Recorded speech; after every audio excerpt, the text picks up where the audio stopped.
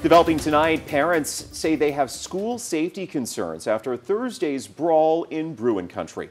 The Beaumont Independent School District is investigating what it called a large fight that happened at West Brook High School. An officer had to defuse the situation using pepper spray. And that led to some students and staff being treated by EMS. 12 News reporter Dominique Lay is live at West Brook with what went down and the safety protocols the district has sent out to parents.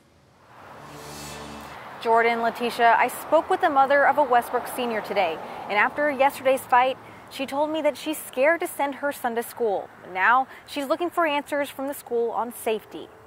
When I walked up to the school, I was kind of panicking, trying to like just lay eyes on my son. That's all I wanted. Brittany Coleman rushed to West Brook High School from work as soon as she received texts from students and parents about her son being in a fight. When I pulled up, I saw an ambulance, so that scared me. Um, I didn't know who I would see in the ambulance. Was it my son? Her son, who's bruised and cut, told her a fight that started in the bathroom spilled into the busy cafeteria. It was then broken up by an officer with pepper spray.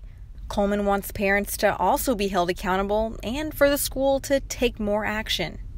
Make sure that there's more BMT, ISD police or security, anybody that they need. There needs to be more hands-on in that cafeteria, um, especially the restrooms. Those I think those should be monitored regularly. But safety protocols at the campus are in place. Just this past November, Superintendent Shannon Allen sent out this notice to parents. They're partnering with BPD for more officers, adding security on secondary campuses for monitoring and supervision, and they have a district partnership with Crime Stoppers. But it may not be enough for this scared mother as she's left with one feeling. I was livid yesterday. I was almost inconsolable.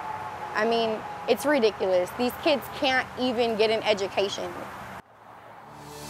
Coleman went to press charges against one student with BISD police, but she says that they told her that because the student wasn't wasn't caught on camera hitting her child, that she won't be able to press charges. For now, in Beaumont, Dominique Lay, 12 News.